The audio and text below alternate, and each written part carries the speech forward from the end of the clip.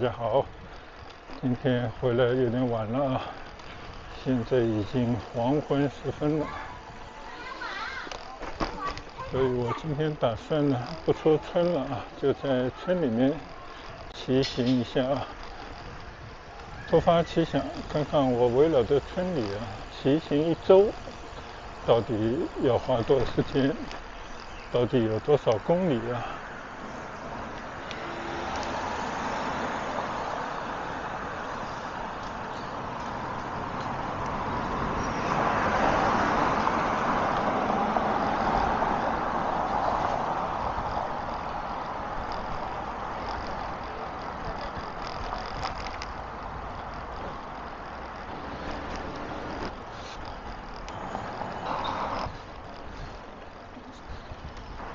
新村呢，它占地面积还是很大啊，好像有六七百亩，具体我也忘了。分成了一个一个的小区，最起码有十几个组团吧，还在发展新的一些组团，包括交通中心和即将要搞的新的商业中心等等吧。所以它其实也没有一个明显的边界啊，就是你要围着它骑一圈。到底怎么才能够包罗这个整个乌村呢？也不好说，我就大致的来转一转。现在呢，我从这个祈福大道骑出去，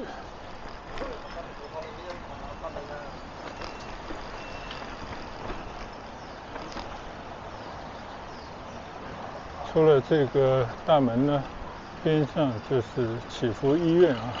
我觉得医院对一个有着十几二十万人口的乌村来讲特别重要。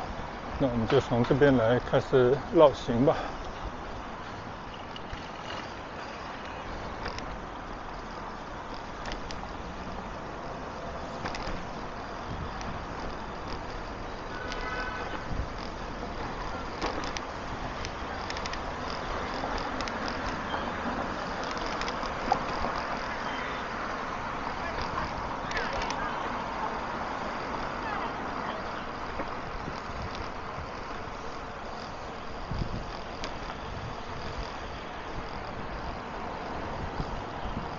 右侧呢就是医院，分了两期建设而成，有巨大的门诊楼，也有更高的住院楼。应该说呢，已经成了起初村民健康的一个首富。但是，一般的小毛病呢，你看啊，右侧就是起福社区的卫生服务站。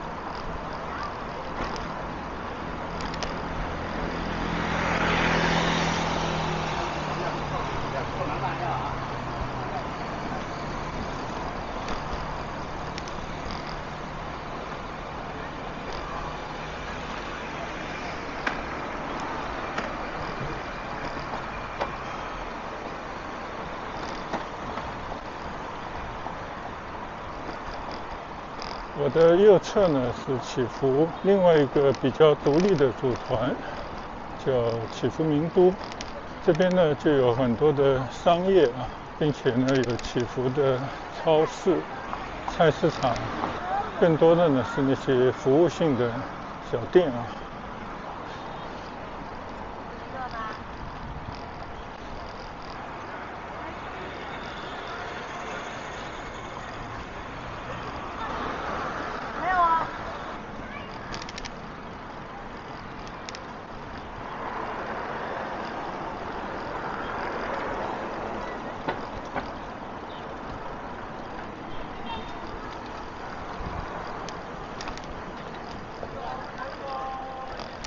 对面的就是祈福新村的一家学校。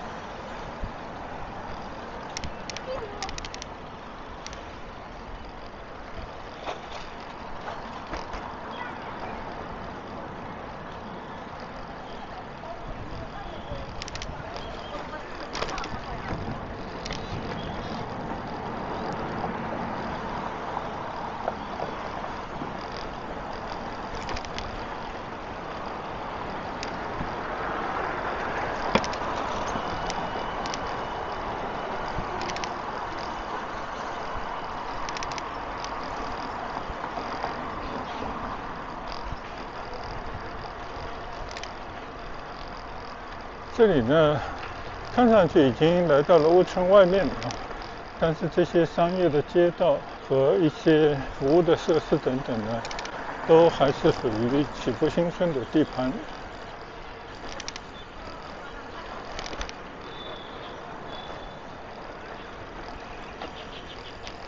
你像这个左侧的自动洗车的机器啊，就是我们经常来利用的设备。这边呢也有起伏的，等于说一个街道服务中心啊。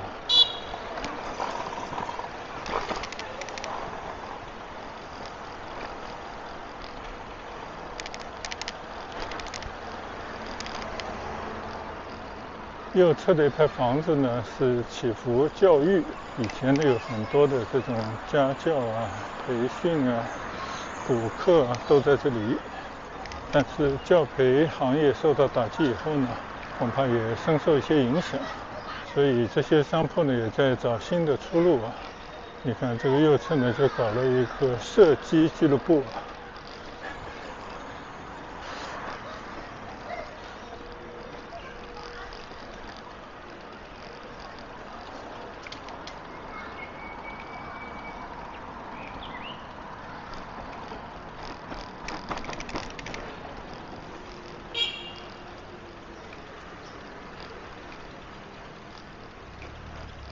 山坡上呢，还有一个学校，几乎有大概大大小小十来所各种学校啊。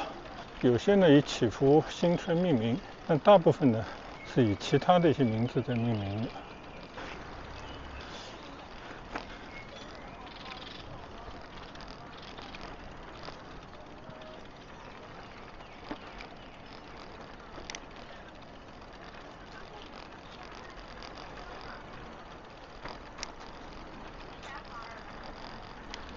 这是一个小学，叫广州市番禺区粤镇小学。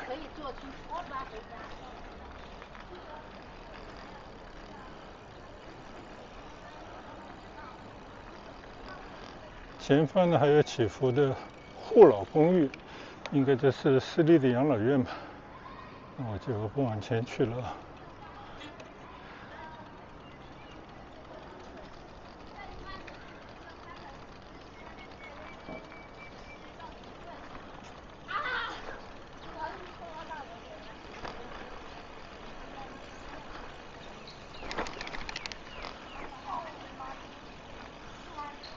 这个学校呢，也紧挨着祈福另外一个组团啊，也是乌村的一个门的边上。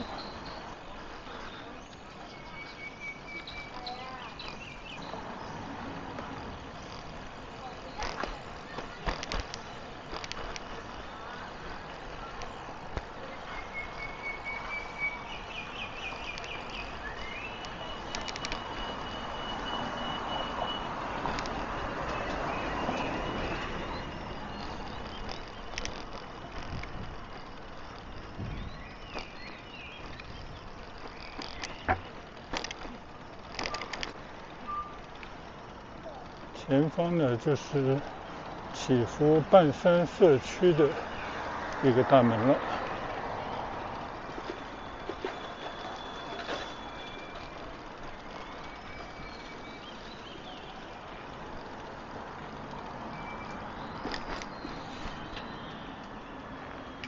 你那个东西是拿来干嘛的？起个记录它？记录仪。记录仪。对。那也可以。哎，我们对，骑着玩，记录骑了多少路啊，等等啊。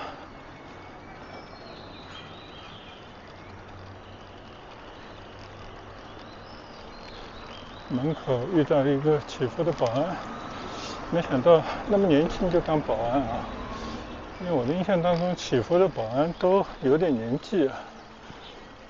他对我这个车和上面的支架、相机有兴趣。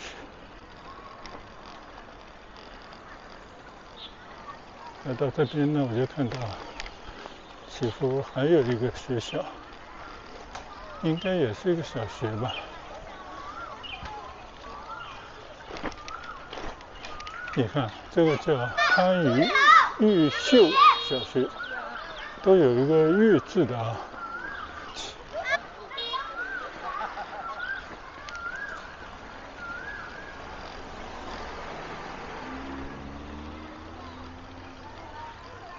很多家长正在等小朋友放学。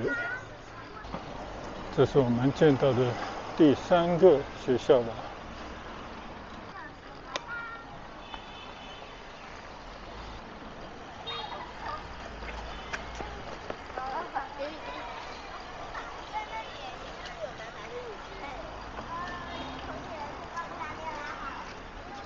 对面呢就是三全居，就是刚刚那个玉正小学一个侧门。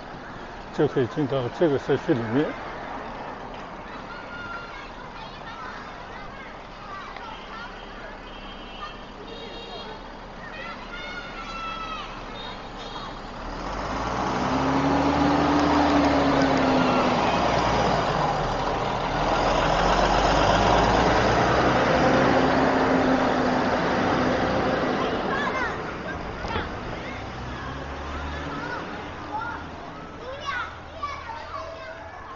这个社区以前好像也来过，但是应该已经很久了。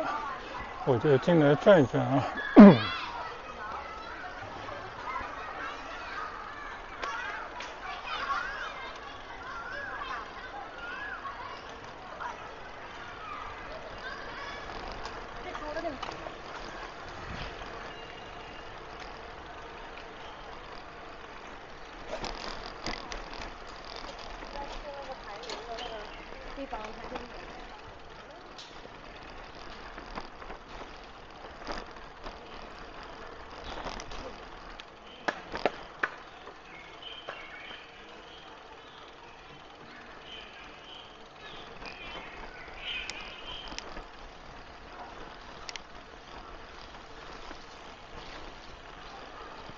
刚刚看到那个学校呢，就在这个围墙里面啊。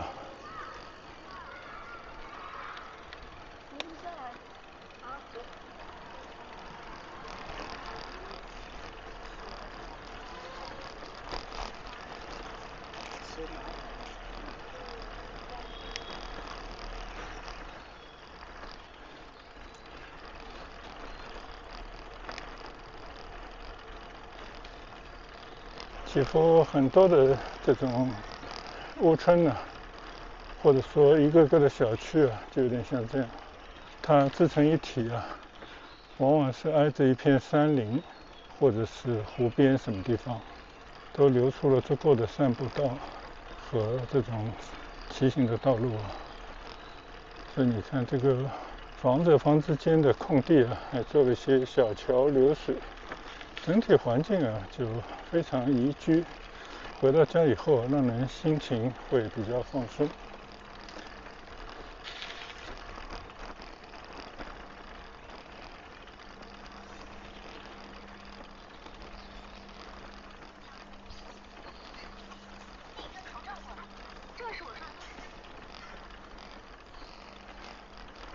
虽然呢，它写的叫三全居。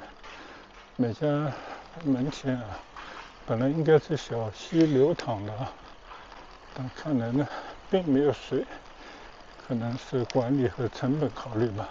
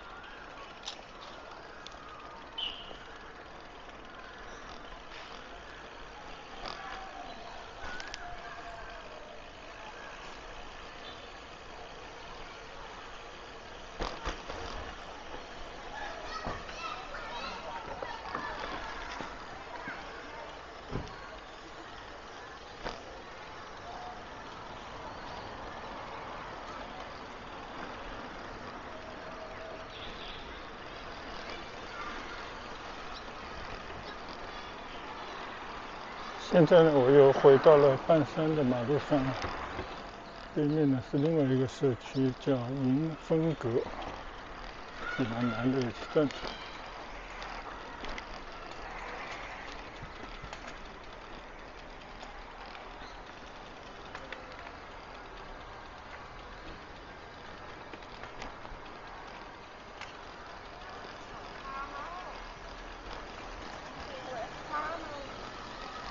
就这个社区呢，也是正好紧贴着这个叫越秀小学。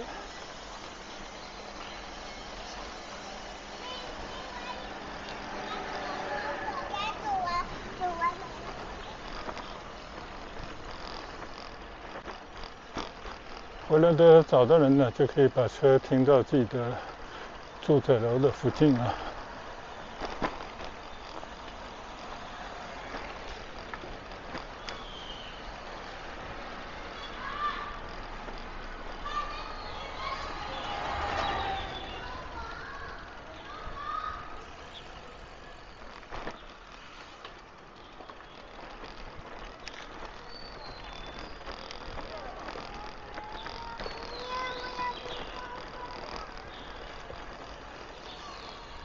迎风阁呢，跟那个天湖区有点像啊。这一群楼呢，就围着一片湖，就是我现在左侧看到的这片湖区。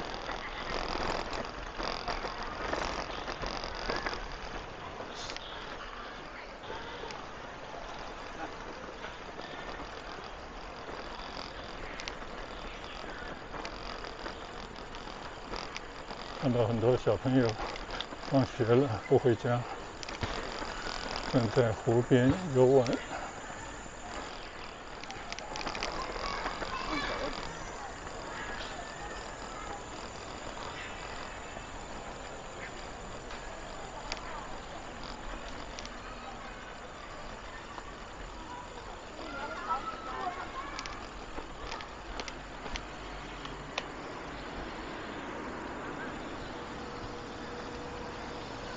社区比较大啊，所以你看到这边呢就有很多路的村巴，像这里呢是一号线到半山去来的，终点呢应该从这边到祈福交通中心。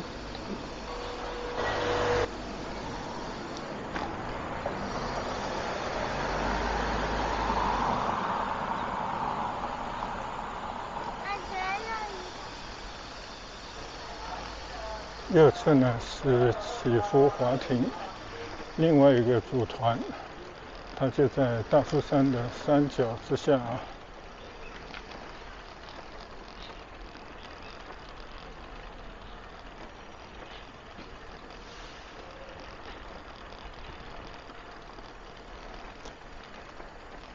都是那种看上去比较安静、非常宜居的这样的社区。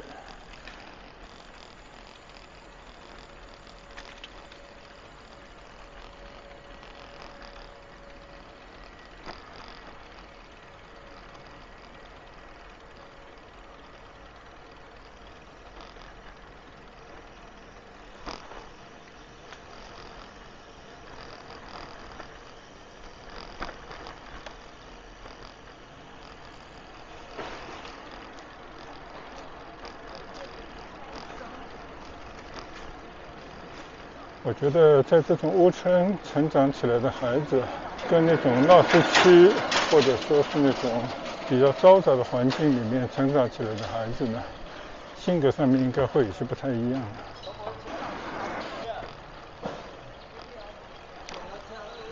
你看啊，这个右侧呢就大富山了，完全是被森林山体围绕的一个屋村。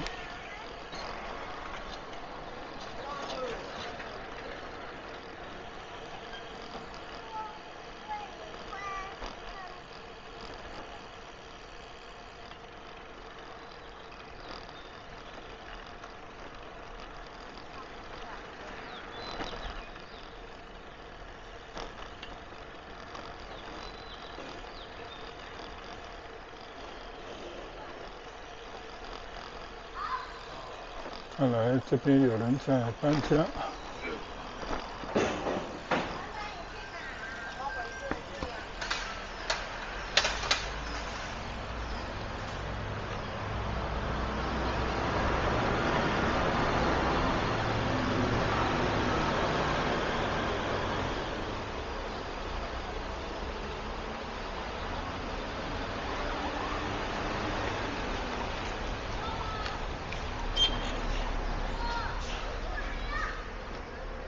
来到了这边呢，对面就是上山的一条山道，就是可以通过这边的台阶啊，去到大夫山森林公园啊。然后这边呢也做了一个小公园，称之为祈福口袋公园，就是给村民多了一片绿地啊，大家大人小孩这边可以玩乐的地方。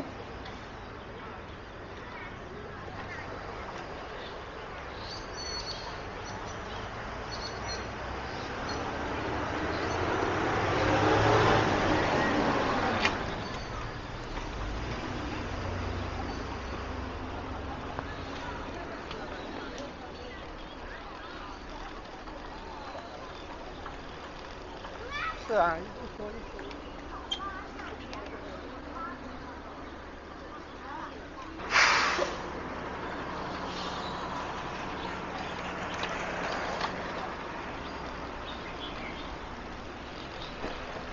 对面呢还有一个组团叫月明轩呢，就以前来的很少，今天也来转转吧。这边呢就是相对来讲啊五六层这样的房子，层数不是很高，但是呢密度也就没那么大。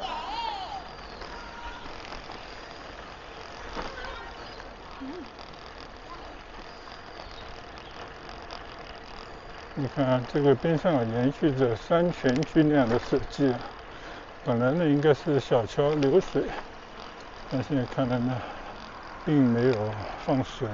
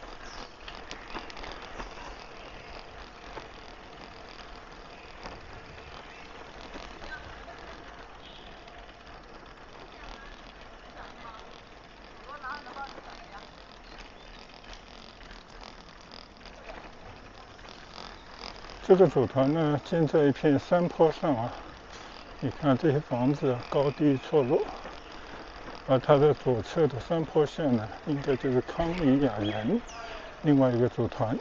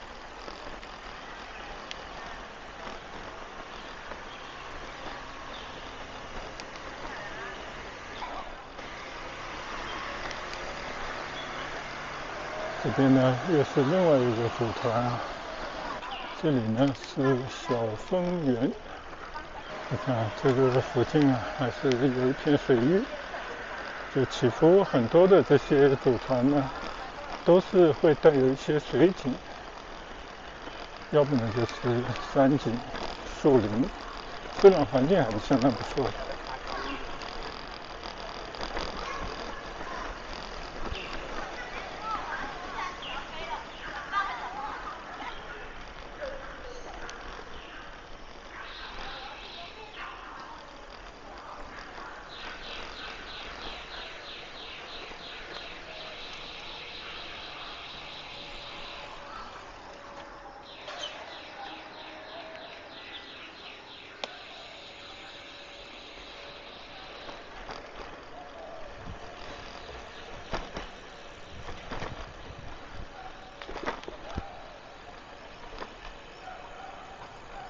从小分园出来呢，就是我们祈福的消防站。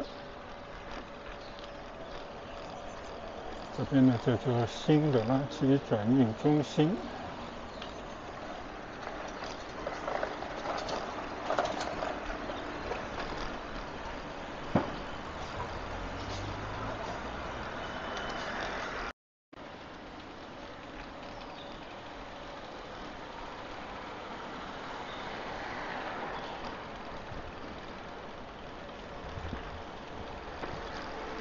消防站的边上呢，就是祈福另一个算是街道的服务中心。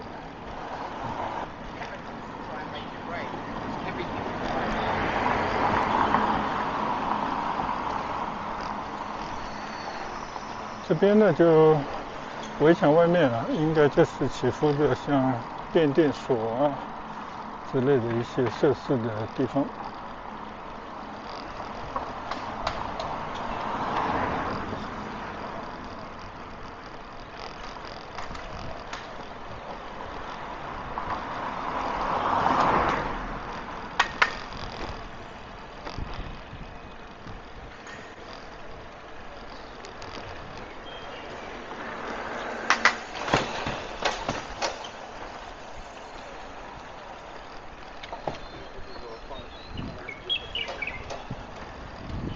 是春巴三号线的终点站，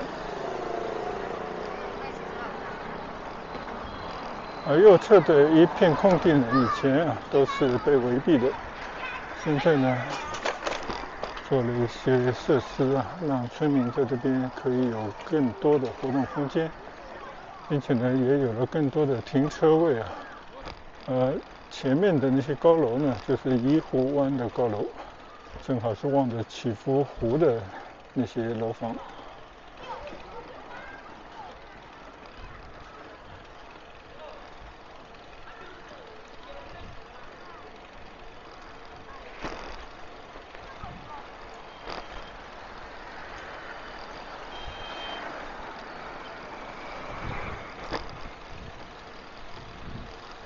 不知不觉呢，我已经在祈福骑了半个小时的车了。看了看码表呢，六公里多，应该还没算到一半吧，这就说明起伏还是蛮大的了。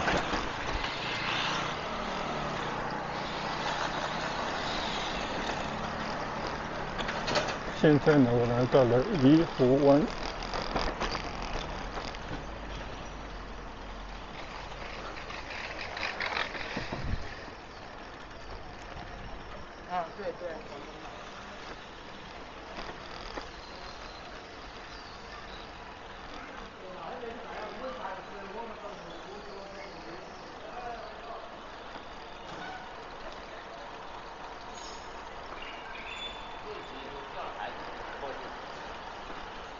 这这边呢，应该是祈福新村的边界了吧？就右侧这些房子外面呢，就是莲花大道了。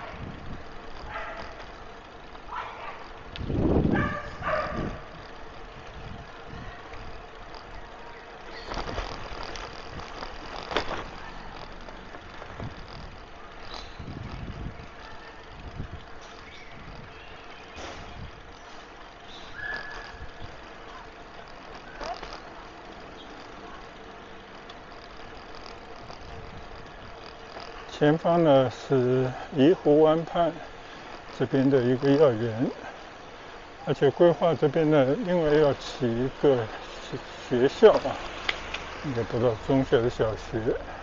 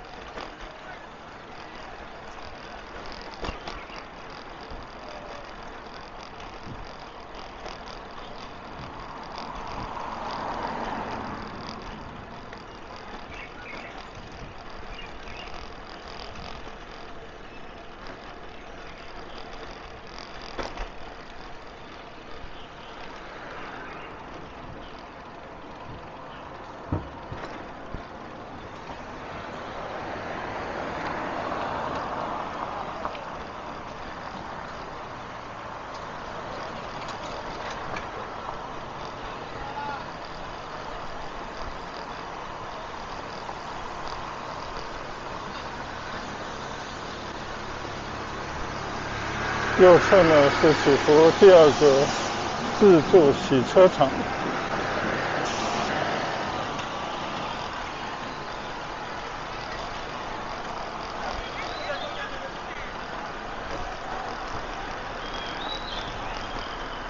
这边呢有一个相对比较大的坡，坡度呢达到了三点几。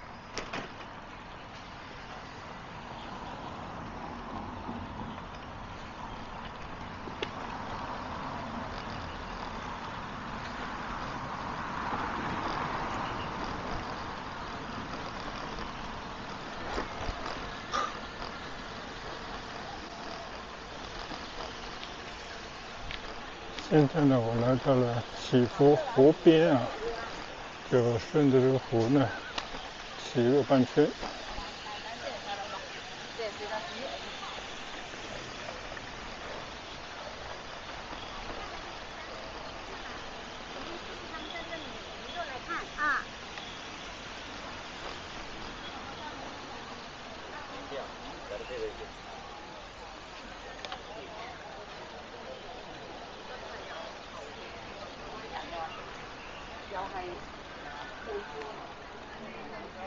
黄昏时分的湖边呢，很多人在这边走路休闲。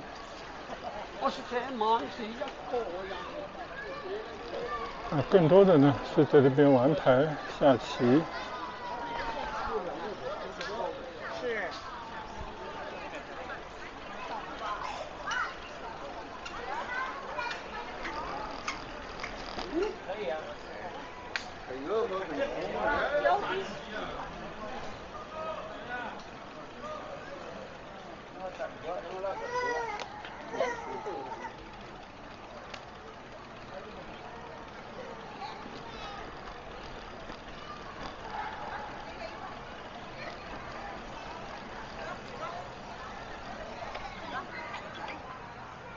这边呢可以来观望一下，这个湖里很多的鸭子和黑天鹅。今天这边湖水还可以啊，你看这个湖里面很多的锦鲤。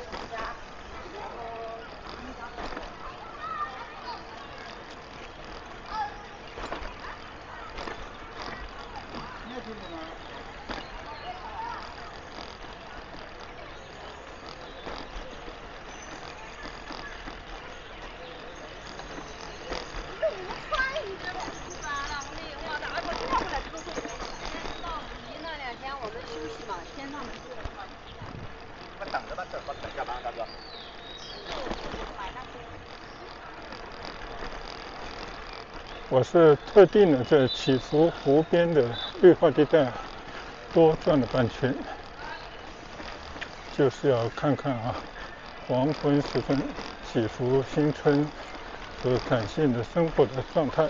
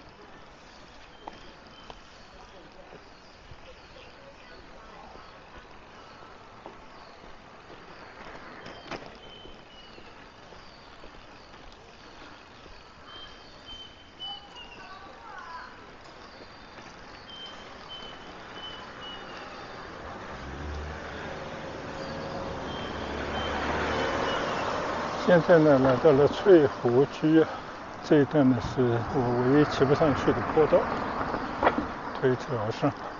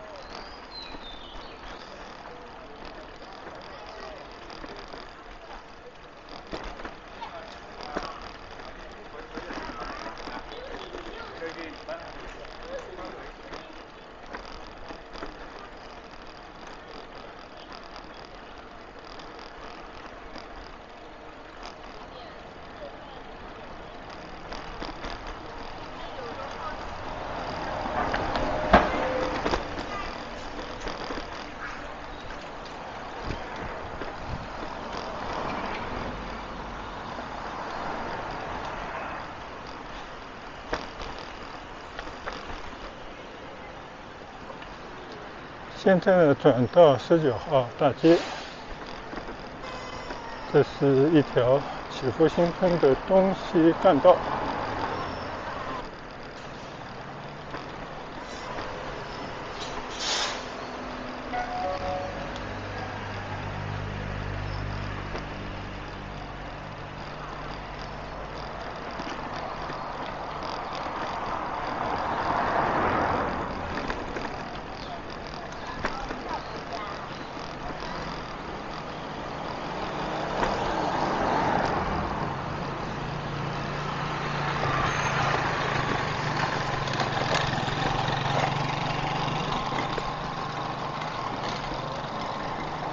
右侧呢，这大片绿地是曲阜新村最美的棕榈园。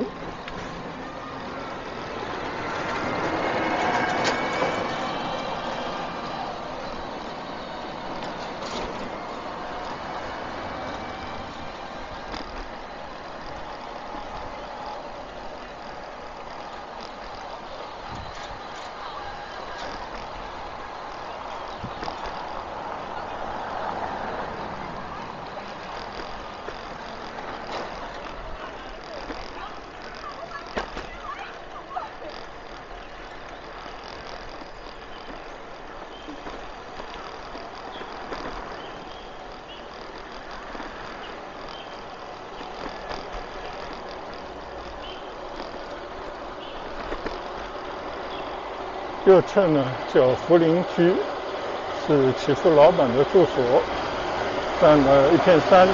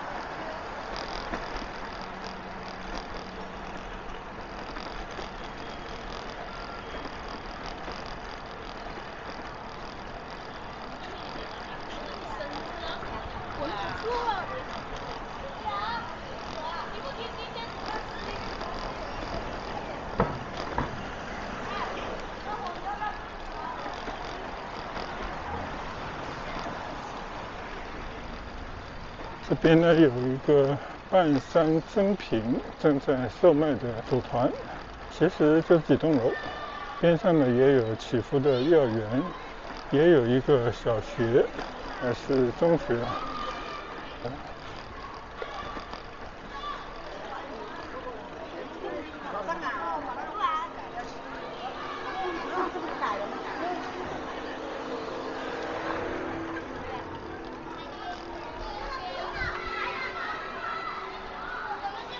看到啊，这些地方呢，还是特别多。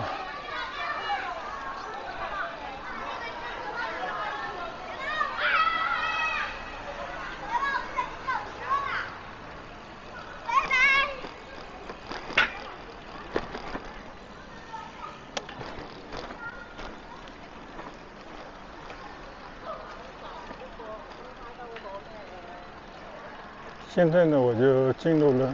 天湖居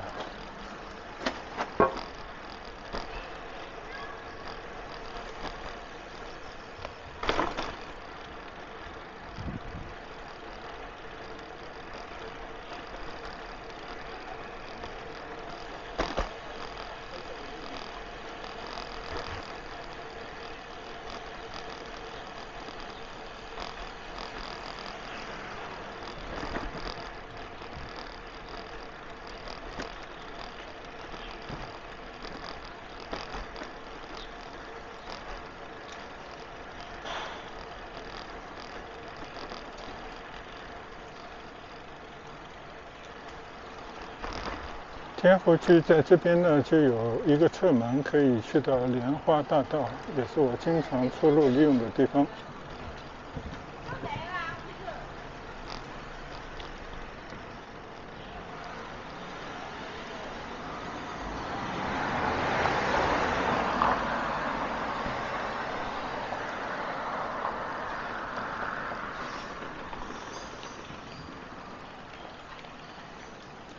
再从天湖区的湖边穿过。在小辉他们家旁边走的。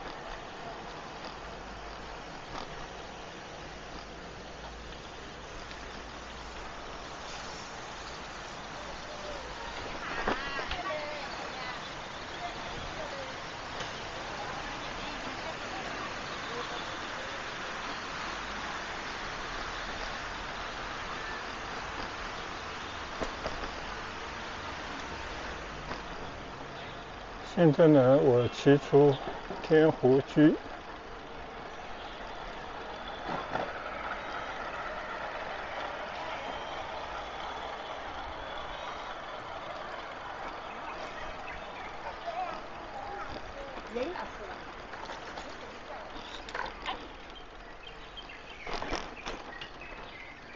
现在来到了祈福新村的最东边啊。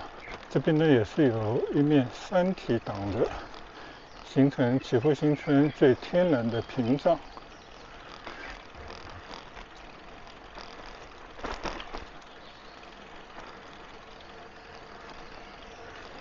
而这边呢，应该是祈福新村最先发展起来的旧区，所以这边的房子都不高，有很多的这种连排的别墅。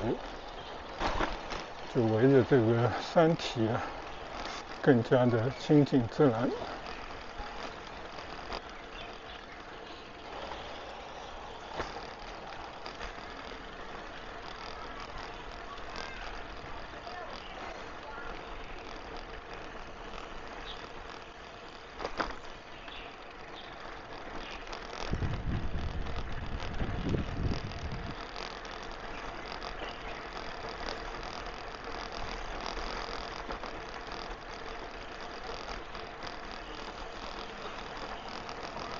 的右侧呢就有楼梯可以登山啊，这是一个口，前面还有个口，所以起伏呢有两座山啊，供村民呢可以健身登山。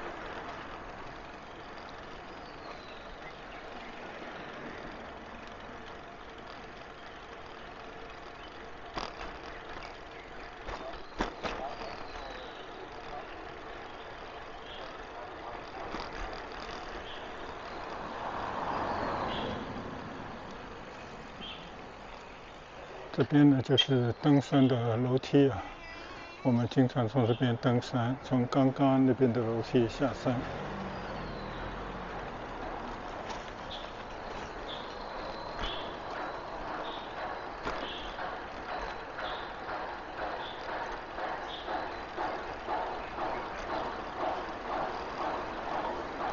前方呢是祈福新村最东面的一个出口，一出去呢，经过一处隧道就可以去到四广路。但是呢，我还是在村里面继续骑行。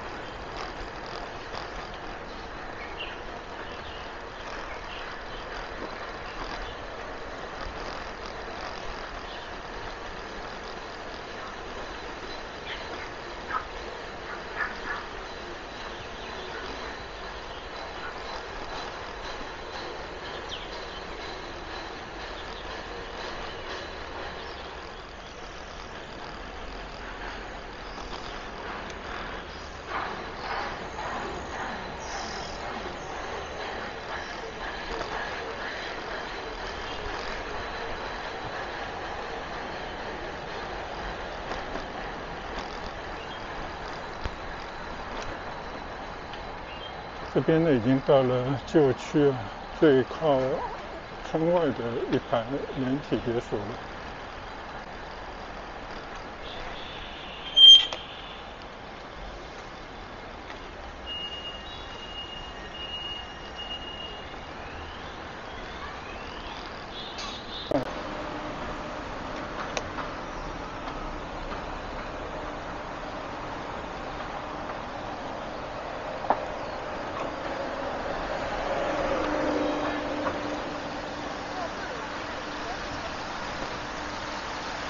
前方呢，就是旧区的会所。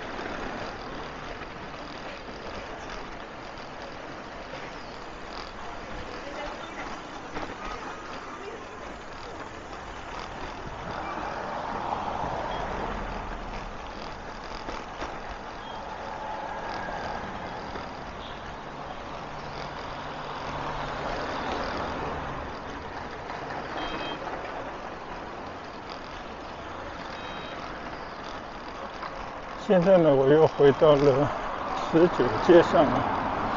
我看了一下码表呢，时间已经过去了一个小时。我骑行的距离呢，差不多十三公里。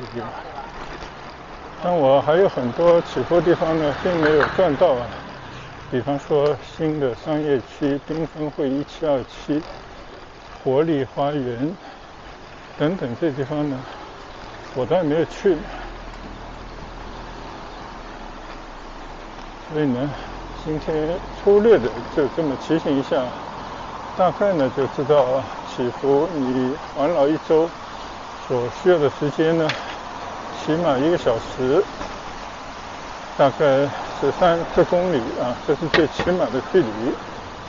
那我觉得我也是第一次啊，就大致了解了一下这么骑行一圈啊，需要花费的时间和距离。因为以前没有码表呢，我从来也都是搞不清楚到底实际的时间距离是多少。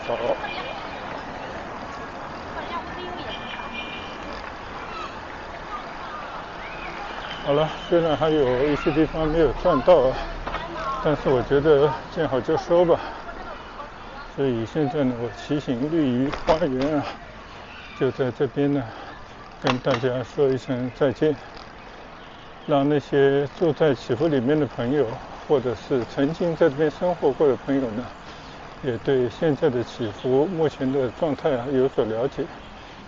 让你了解一下起伏之大，它还是可以量化的，它还是可以通过一些数据，让你搞清楚啊，在这个里面骑行一圈所需要的时间。和它大致的距离，呃，于我而言呢，这么一个来小时的骑行，十三四公里的距离啊，我觉得刚刚好是完成了今天的骑行健身的指标，所以我觉得一举多得啊，既给大家分享，同时呢，我也完成了自己的健身的任务。好了，那我们以后。有机会再跟大家分享祈福村内的情况啊！如果哪位朋友对祈福新村有兴趣呢，也可以让我知道，我在尽可能情况底下呢，也给大家去拍一拍大家感兴趣的那些屋村内的情况啊，特定的组团目前的一些状况等等。我们改日再见，谢谢大家的观赏。拜拜。